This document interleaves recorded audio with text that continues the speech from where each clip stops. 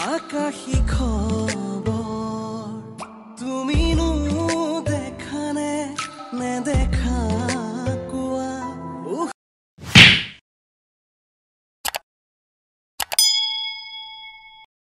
সকলোকে নমস্কাৰ জনাইছোঁ আমাৰ চেনেলৰ অন্য এটি ভিডিঅ'লৈ। আজি এই থালিখন কিহৰ লগতনো বনালোঁ আৰু কেনেদৰেনো বনালোঁ তাকেই আপোনালোকৰ লগত অকণমান শ্বেয়াৰ কৰোঁ বুলি ভাবিছোঁ। নমস্কাৰ বন্ধু বান্ধৱীসকল কাকলি দৃষ্টি ব্লকৰ অন্য এটি ভিডিঅ'লৈ মই কাকলিয়ে আপোনালোক সকলোকে স্বাগতম জনাইছোঁ। আশা কৰোঁ সকলো ভালেই আছে। আজি এফালে যাবলৈ আছে সেইকাৰণে জল্দা জল্দিকৈ ল'ৰাটোকো ভাতকেইটা খুৱাই ল'লোঁ আৰু পটাপট ওলাই মেলি আহিলোঁ। সেইখিনি সময়ত ভিডিঅ' কৰা নহ'লে যিহেতু আগৰ এটা ভিডিঅ'ত মই কৈছোঁৱেই আজি মোৰ দাঁতৰ আৰ চি টি কৰোৱা হ'ব। গতিকে আমি নটা বজাত এপইণ্টমেণ্ট আছিলে সেইকাৰণে জল্দি জল্দি আহি গ'লোঁ চেম্বাৰলৈ আৰু আহি পায়ে মোৰ ট্ৰিটমেণ্ট আৰম্ভ হৈ গ'ল দেখিছে আপোনালোকে।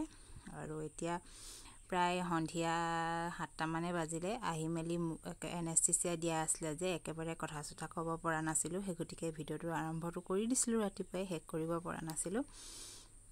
প্ৰায় ছয় সাত ঘণ্টামানৰ পিছত এতিয়া মই অলপমান কথা ক'ব পাৰিছোঁ বাৰু। তথাপিও আপোনালোকে দেখি গম পাইছে চাগে সেইকাৰণে ভইচ অভাৰ দিছোঁ। আৰু ঘৰলৈ আলহীও আহিলে যিহেতু আইতা আহিছে আৰু সেইকাৰণে এওঁ মাংস আনিলেগৈ অলপ। তো আজি মই এই গাহৰি মাংসৰে দুটা ৰেচিপি বনাম। দুইটাই শ্বেয়াৰ নকৰোঁ বাৰু এটা ৰেচিপি শ্বেয়াৰ কৰিছোঁ আপোনালোককো অলপমান দেখাওঁ বুলি ভাবিলোঁ। সেইকাৰণেই বস্তুখিনি দেখাই লৈছোঁ প্ৰথমে। ভালদৰে সৰু সৰুকৈ কাটি লোৱা মাংস আৰু এয়া হৈছে মচন্দৰী পাত। মচন্দৰীৰ লগত আজি মই গাহৰি মাংসৰ ড্ৰাই ফ্ৰাই বনাম। মচন্দৰী পাত পেটৰ কাৰণে একেবাৰে বহুত উপকাৰী। সেই গতিকে আৰু গাহৰি মাংসত যিহেতু বহুত তেল থাকে সেইকাৰণে এটা পিঁয়াজ হালধি নিমখ আৰু অকণমান ৰচুন থেতালি লৈছোঁ। ইয়াত মই একেবাৰেই মছলা ব্যৱহাৰ নকৰোঁ। এতিয়া তেলত মই এচামুচ তেল দি দিছোঁ। দি পিনি তেলখিনি গৰম হ'বৰ কাৰণে এক মিনিট মই ধুনীয়াকৈ ৰাখি লৈছোঁ আৰু এতিয়া এই তেলখিনি গৰম হৈ গৈছে এতিয়া মই ইয়াত দুখিলা তেজপাত দি দিছোঁ। কাৰণ গাহৰি মাংসত বেছি তেল দিবলৈ দৰকাৰ নাই যিহেতু তেল ওলাবই। সেইকাৰণে মাত্ৰ এচামুচ তেল দিছোঁ যাতে কেৰাহীখনত মাংসখিনি লাগি নধৰে। এতিয়া মই ইয়াত একো নিদিয়াকৈ ডাইৰেক্ট মাংসখিনি এনেদৰে ঢালি দিছোঁ। আৰু প্ৰায় দহ মিনিটমান সময় এনেদৰে লৰাই লৰাই ভাজিম। দহ মিনিটমান নালাগেই প্ৰায় পাঁচ মিনিটমান ভজাৰ পিছতেই ইয়াৰ তেল ওলাবলৈ আৰম্ভ কৰিয়ে দিব। যিহেতু একেবাৰে চৰ্বিৰ মাংস হয় গতিকে ধুনীয়াকৈ তেল ওলাব। সেই গতিকে মই আচলতে মচন্দৰীও আছিলে আইতাই লৈ আহিছিলে সেইকাৰণে মচন্দৰীৰ লগত বনাওঁ বুলি ভাবিলোঁ। আৰু মচন্দৰী অকণমান টেঙা ভাৱ এটা আছে সেইকাৰণে গাহৰি মাংসৰ লগত খাবলৈ খুব সোৱাদ হয় আৰু পেটৰো একো অপকাৰ নকৰে।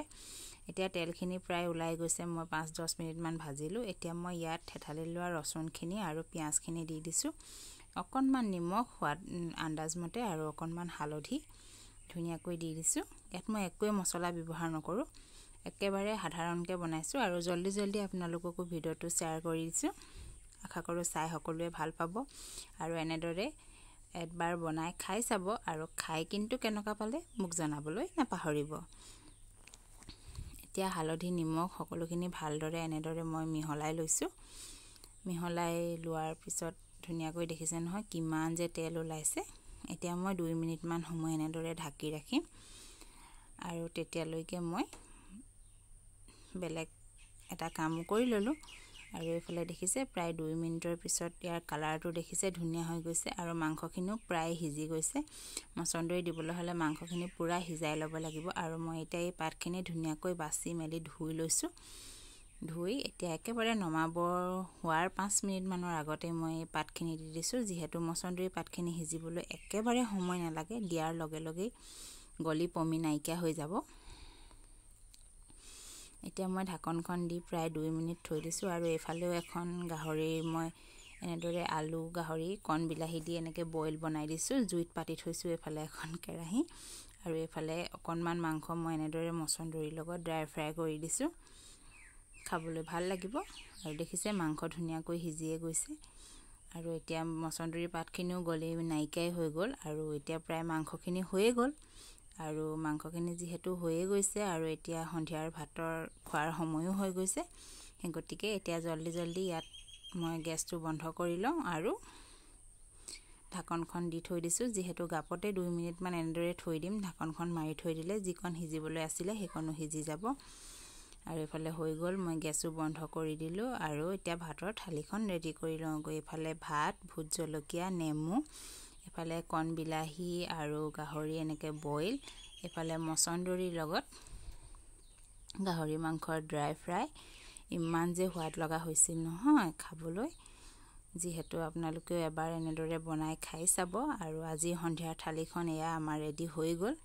আৰু থালিখন যিহেতু ৰেডি হৈয়ে গৈছে আৰু এতিয়া ৰৈ থাকিবলৈ নাই আৰু। জল্দি জল্দি আমিও ভাতকেইটা খাব লাগে। আপোনালোককো দেখালোঁ কাৰ কাৰ লোভ লাগিছে বাৰু? কিন্তু যিসকলে গাহৰি মাংস খাই ভাল পায় তেওঁলোকৰ কাৰণেতো খুবেই প্ৰিয় হ'ব। আৰু আমাৰ আজিৰ সন্ধিয়াৰ থালিখন দেখালোঁ। আশা কৰোঁ ভিডিঅ'টি চাই ভাল পালে। আৰু যদি ভিডিঅ'টি চাই ভাল পালে তেনেহ'লে লাইক কমেণ্ট শ্বেয়াৰ ছাবস্ক্ৰাইব কৰিবলৈ নাপাহৰিব।